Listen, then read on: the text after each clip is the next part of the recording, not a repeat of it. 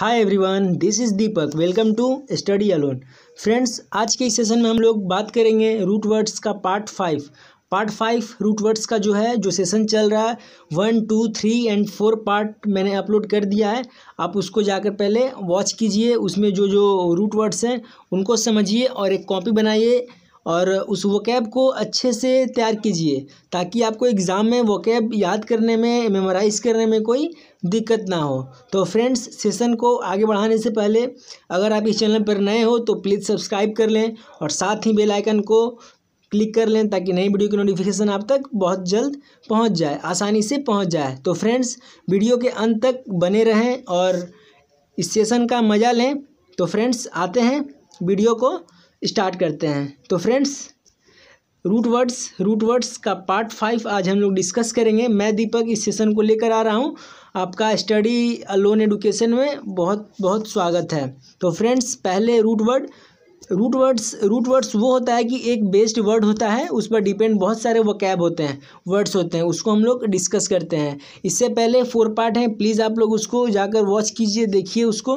तो इस सेशन का पहला वर्ड है कुमुल। क्या है? Cumul C O M U L cumul cumul means होता है मास मास मास, हीप हीप। एक एक जगह पर पूरा जमा हो जाना कुछ कुछ चीज़ जमा हो जाना। तो आइए इस पर कौन कौन से वर्ड डिपेंड हैं कौन कौन से वकैब बन सकते हैं, देखते हैं। एक्यूमुलेट एक्यूमुलेट टुगेदर और पाइल अप पाइल अप करके रखना पाइल अप करके रखना, एक जगह इकट्ठा करके रखना टुगेदर एक साथ रखना, किसी चीज़ को एक साथ रखना, उसको क्या बोलेंगे? एक्यूमुलेट फ्रेंड्स आइए सेकेंड वर्ड में आते हैं हम लोग। कुमुलेटिव कुमुलेटिव ये एकूमुलेट एंड कुमुलेटिव ये हम लोग वर्ड्स को बहुत ज़्यादा बार देखते हैं अपने कॉम्प्रहेंसिव में।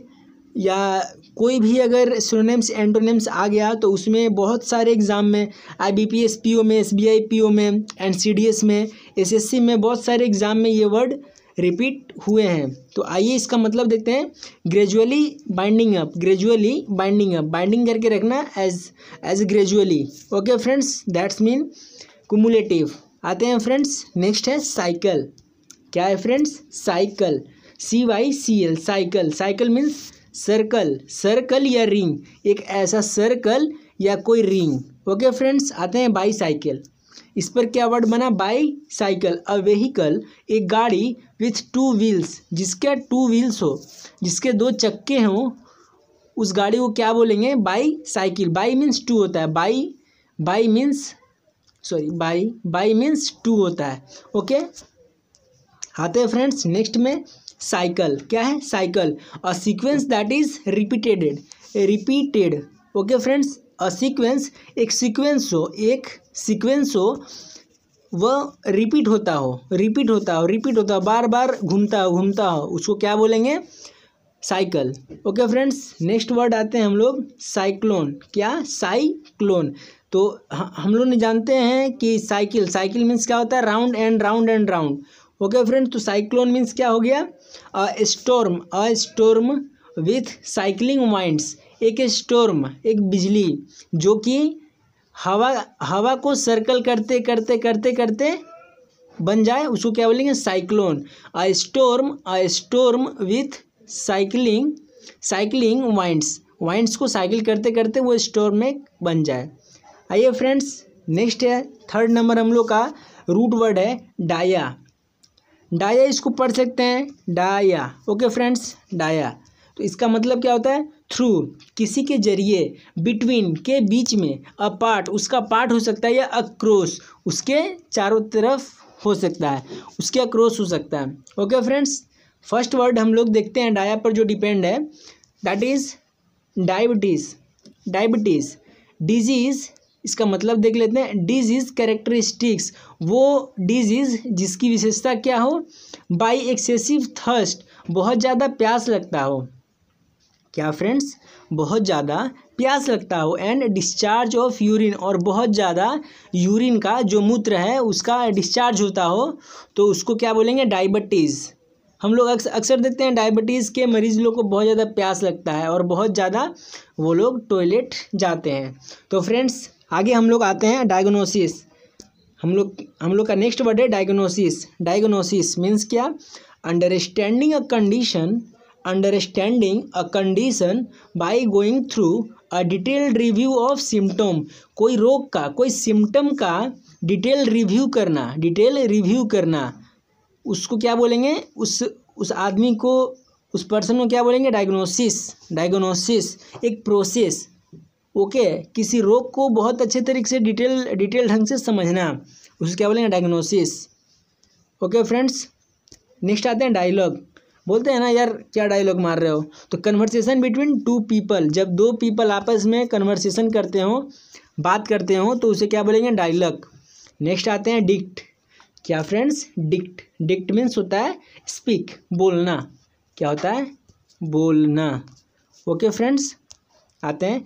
कॉन्ट्राडिक्ट फ़र्स्ट वर्ड है हम लोग का contradict to express the opposite of to express the opposite of opposite किसी को ओपोजिट को एक्सप्रेस करना। ओके फ्रेंड्स ओपोजिट के तरफ़ एक्सप्रेस करना अपने आप को कॉन्ट्राडिक्ट करना।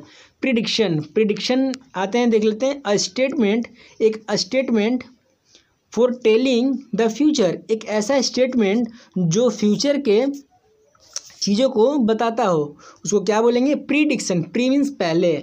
क्या होता है? प्री मीन्स प्री देखो प्री लगाए ना यहाँ पर। प्री प्री यूज़ हुआ है ना? प्री मीन्स पहले होता है।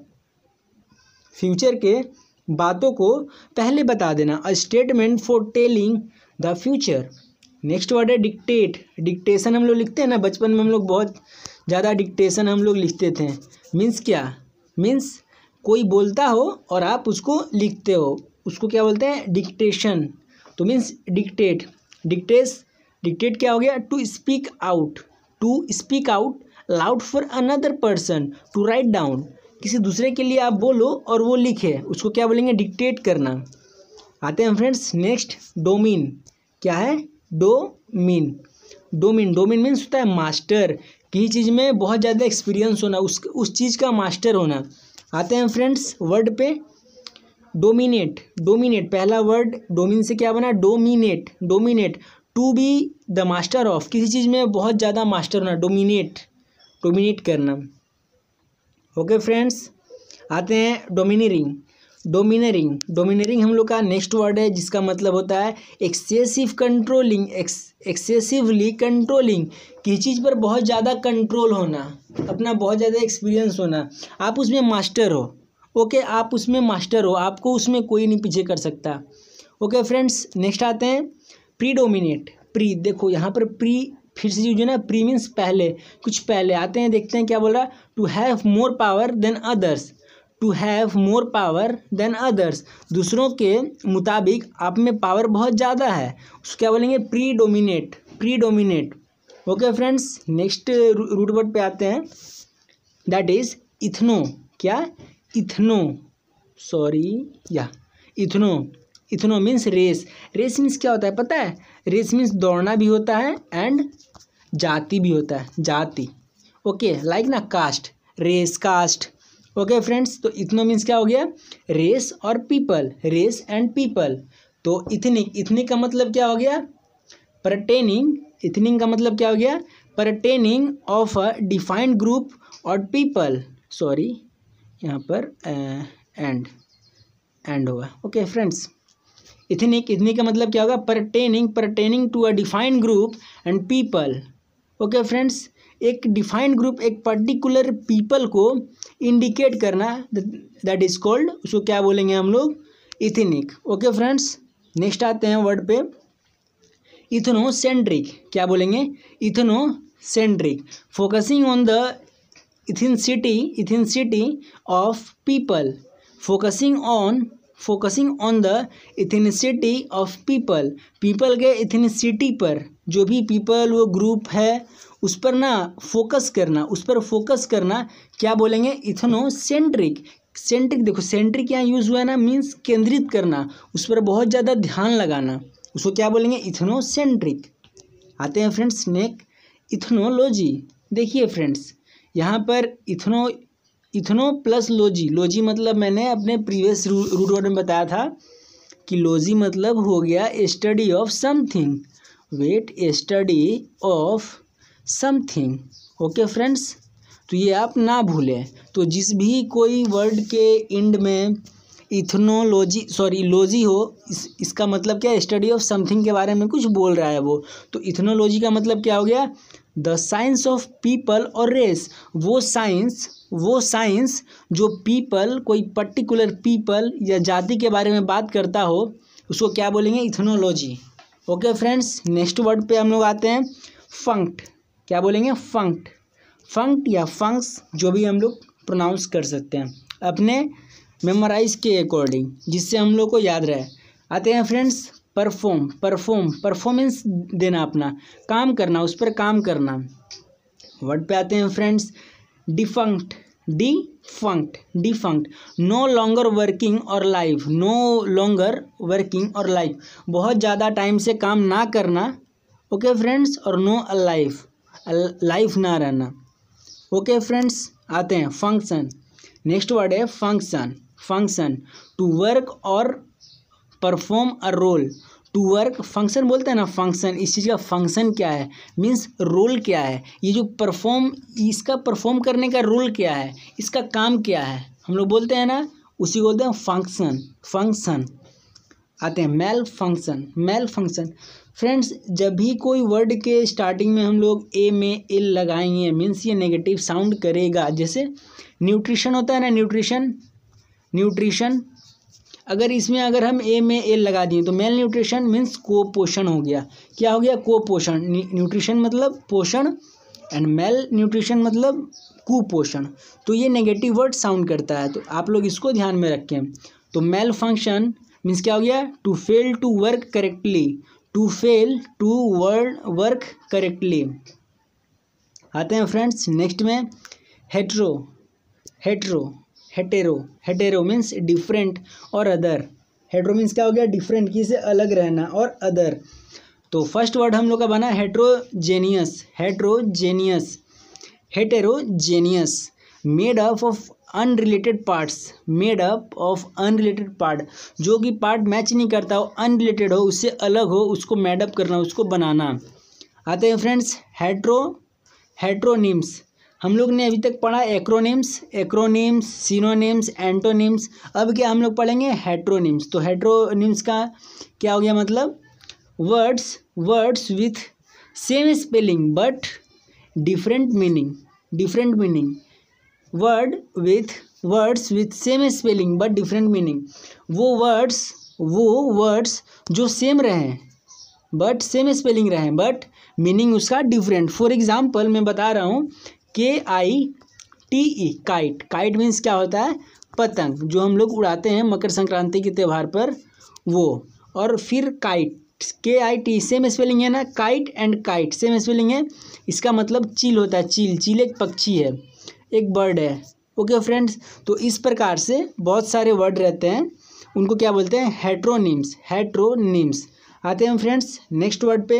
Heterodox heterodox not conforming not conforming to traditional belief traditional belief पे कन्फर्म नहीं है, वो विश्वास नहीं करता है कन्फर्म वो ट्रेडिशनल जो भी प्राचीन, जो भी उसका ट्रे ट्रेडिशनल थिंग्स हैं, उस पर वो विश्वास नहीं करता उसको क्या बोलेंगे? हेट्रोडॉक्स आते हैं फ्रेंड्स नेक्स्ट हिस्टो हिस्टो इसका मतलब क्या होता है? टिशू टिशू जब भी हिस्टो का वर्ड यूज़ हम लोग करेंगे मीन्स होता है टिशू ओके फ्रेंड्स आते हैं वर्ड्स पे.